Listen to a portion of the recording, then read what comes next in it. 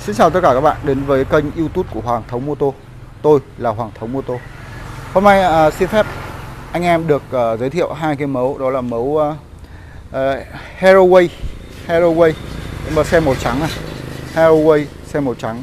Và chiếc à, um, um, đây anh em có thể thấy trước kia. Mueller Mueller này Mueller là chiếc màu đỏ này.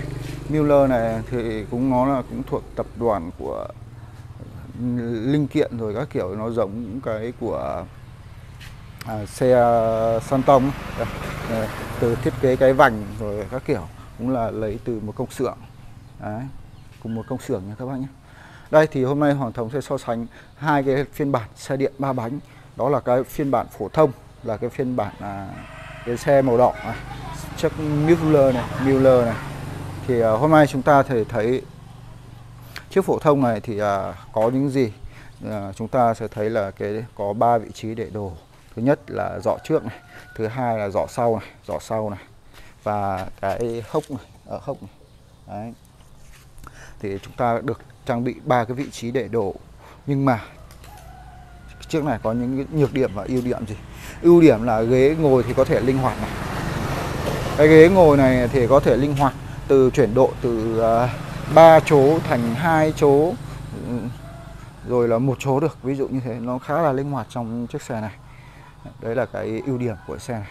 Thì chiếc xe này thì trang bị an toàn nó cũng khá khá thôi khá là đầy đủ thôi. À, chúng ta sẽ thấy là à, toàn dùng phanh à, tăng chống.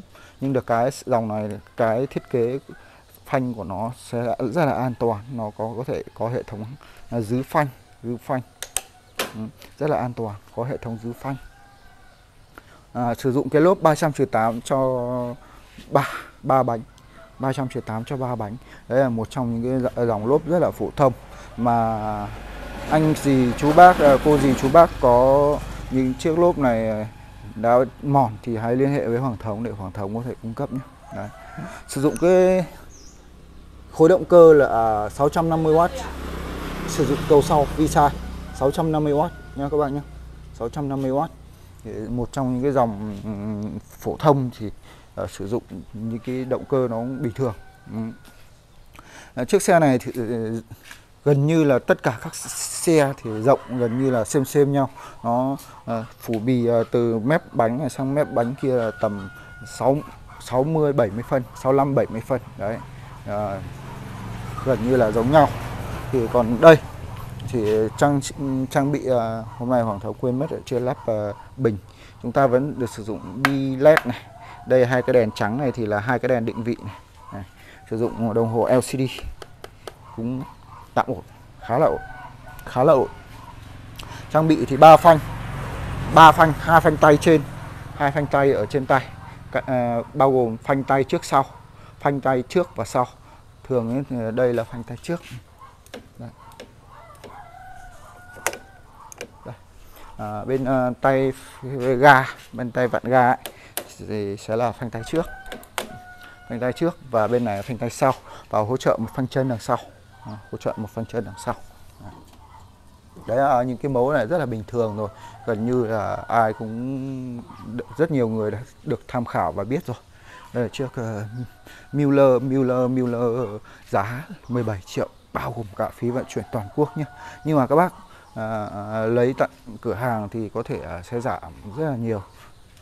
Nếu mà lấy tại cửa hàng thì à, phí vận chuyển nó không có thì tùy tùy anh em nhiệt tình hay không có đến tận nơi hay không thì à, sẽ được giảm nhé các bạn nhé. Quay về thứ hai à, là chiếc uh, Hello Way này chúng ta có gì? Các bạn thấy không? So về tổng thể chiều cao thì nó khác trời một trời một vực luôn. Đấy.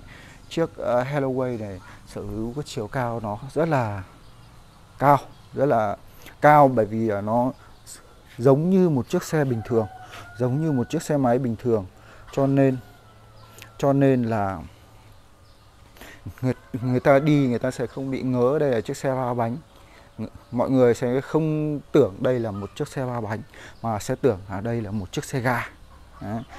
giống nó không khác gì một chiếc xe ga hoặc là uh, trong uh, tưởng tượng là nó sẽ người ta sẽ không biết là đây là một chiếc xe điện đấy. Các bác à, à, hãy à, chiêm ngưỡng vẻ đẹp của em nó. Đây. Đây là một chiếc Haraway được trang bị động cơ là 800W rất là khỏe nha các bác nhé. Động cơ có à, đây à, các bác để ý là nhiều cái động cơ nó sẽ không có cái bọc đen này. Đây cái bọc đen này này. Cái này cũng là cũng khá là quan trọng. Nhiều nơi người ta sẽ bảo là dung dịch làm mát nhưng mà không có cái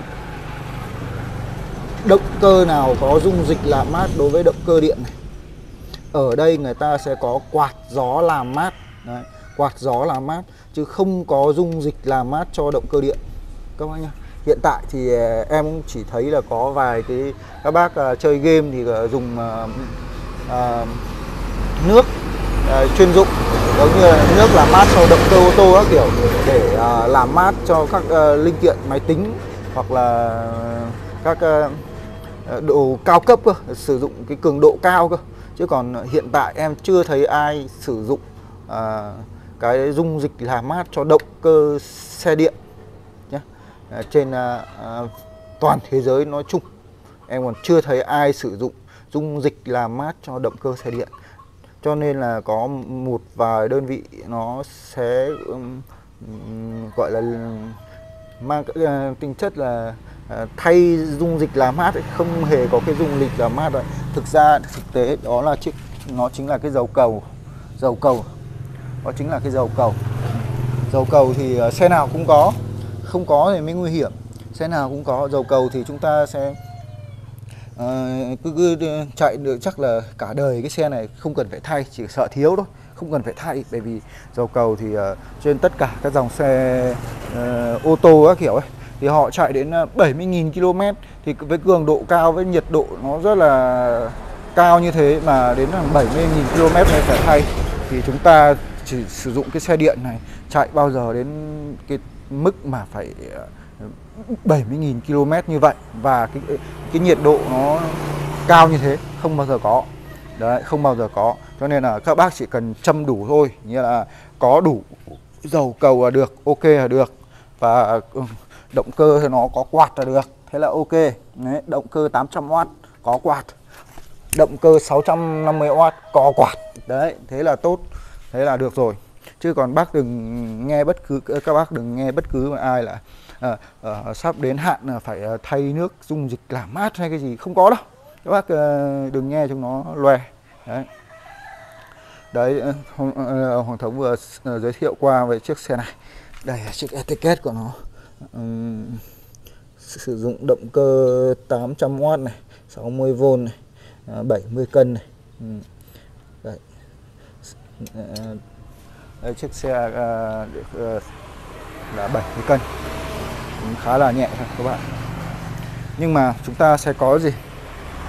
À, có thể ngồi được à, giống như chiếc Honda thì chúng ta ngồi được bao nhiêu người thì chiếc xe này cũng y xì y chang. À, có thể ngồi được à, hai người lớn.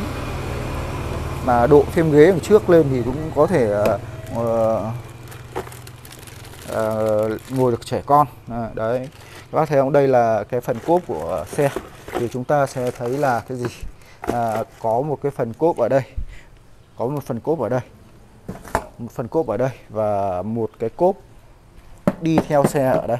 Có chìa khóa riêng này. chìa khóa riêng này. Đấy. cũng khá là an toàn các bạn này. À, có chìa khóa riêng. Đây có chìa khóa riêng này các bạn thấy không? Đấy.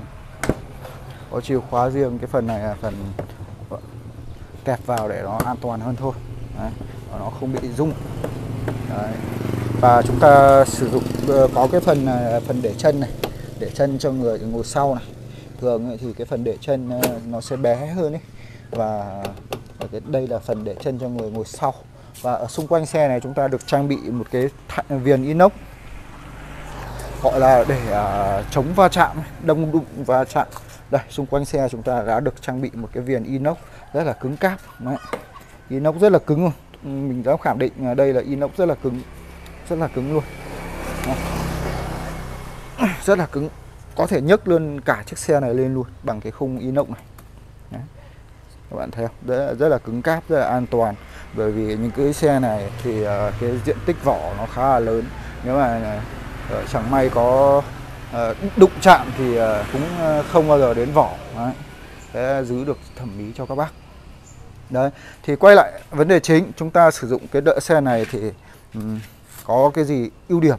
Ưu điểm đó là cao hơn nhìn vượt trội hơn vượt trội hơn so với cái mẫu ba bánh bình thường gần như là cao nhất trong các loại xe ba bánh. Và cái sử dụng cái lốp này đã cái lốp kia xe kia thì mới có 300 trừ 8 thì ở đây chúng ta sẽ sử dụng cái lốp là gì? Cái lốp này là lốp 300 trừ 10 sẽ bị ngược, nhưng mà nó là 300 trừ 10 à, trước và sau đều sử dụng là lốp 300 trừ 10 nhưng mà điểm an toàn thứ hai nữa của chiếc xe này, chúng ta thấy gì? Chúng ta sẽ thấy là chúng ta được sử dụng là ba cái phanh đĩa này. đây là phanh đĩa này. Ờ, phanh đĩa hai bên nhé các bác nhé bên này, bên kia, hai hai bên. Và phanh đĩa đằng trước nữa. Sử dụng ba phanh đĩa rất là an toàn theo với khuyến cáo của ờ, xe thì xe này có thể chạy với tốc độ ờ, tầm 60 km/h nhé các bạn nhé 60 km/h đấy xe này có thể chạy đến 60 km/h và những chiếc xe này đều được sử dụng là bảo hành một năm.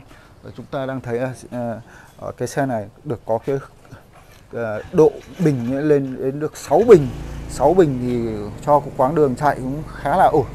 Ít nhất là cũng phải 100 cây một lần sạc nha các bạn nhé chiếc xe Holloway này cũng là anh hùng xa lộ thật. Ít nhất là tầm 100 cây số một lần sạc. Thì chiếc xe này nếu mà độ uh, chiếc uh, Mueller này uh, độ đến limit nhất cũng chỉ lên đến được uh, 85 cây một lần sạc thôi. Nhưng mà bản này độ lên phải trên 100 cây một lần sạc. Chiếc uh, Helloway đấy các bác thấy uh, nếu mà so sánh thì nó rất là khập khiễng. Không đấy chiếc xe này thì uh, dáng nó không bị hao không bị kiểu như ngồi thấp này không bị uh, uh, người ta biết lại đấy là xe ba bánh hoặc là xe điện hoặc là xe ga luôn. Đấy. người ta chỉ biết đây là một cái giống một uh, chiếc giống xe ga đấy. không người ta sẽ không hiểu lầm là đây là xe điện luôn. Đấy, rất là hao.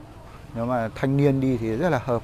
Không phải thanh niên mà hoàng thống có những cái lô về thì à, toàn các bác dùng thì cũng có nhiều trường hợp mà bạn cũng có các bạn ấy, chẳng may yếu chân các kiểu có người này người kia cho nên là nếu mà thanh niên đi thì rất là hợp nhé đấy. Rất là hợp. Đấy hoàng thống thì hôm nay cũng chỉ giới thiệu qua qua một cách ờ, như vậy. Nếu các bác thấy chiếc nào phù hợp với các uh, bác thì giá cả của hai chiếc này nó cũng khá là chênh nhau. Chiếc này 26 triệu chưa có vận chuyển. Bác nào yêu cầu thì uh, là 28 triệu cả vận chuyển. 28 triệu cả vận chuyển. Bác nào đến tận nơi thì 26 triệu. Còn đây ở đây trước này là 17 cả vận chuyển. Bác nào đến tận uh, nơi thì có có bớt không khi mà không có phát sinh phí vận chuyển. Đấy. cảm ơn mọi người đã quan tâm theo dõi. Chúc các bác uh, một ngày uh, lễ cuối tuần vui vẻ. Hẹn gặp, hẹn gặp lại các bác trong những chương trình sau nhé.